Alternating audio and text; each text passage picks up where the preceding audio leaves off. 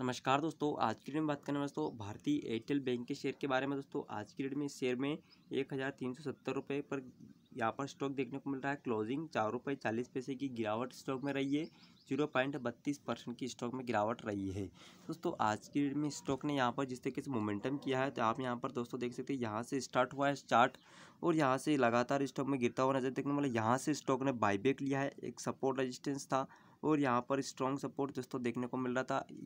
एक हज़ार तीन सौ चालीस से स्टॉक ने सपोर्ट लिया है। इसके साथ वापस यहाँ पर रिटेस्ट किया है। यहाँ तक हाई गया तो तो यहाँ पर स्टॉक की जो मोमेंटम है तो तेरह सौ अस्सी से क्लोज हुआ है। तो अप ट्रेंड स्टॉक में मोमेंटम है तो चौदह सौ रुपये के शॉर्ट टर्म टारगेट कंप्लीट होते हुए नज़र आ सकते हैं। चौदह सौ चौदह सौ दस और चौदह सौ बीस तक जाने की संभावना है। भारतीय एयरटेल की शॉर्ट टर्म कंप्लीट होता हुआ नज़र आ सकता है।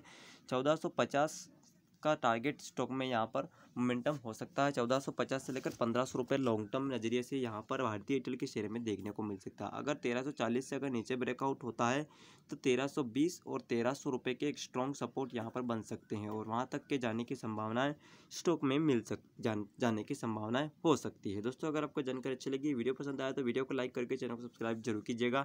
बाज़ार में निवेश करते हैं, इसमें वित्तीय जोखिम की संभावना हो सकती है। कृपया अपनी ज़िम्मेदारी पर बाज़ार में निवेश कीजिएगा। मिलते हैं अगले वीडियो में। जय जय भारत।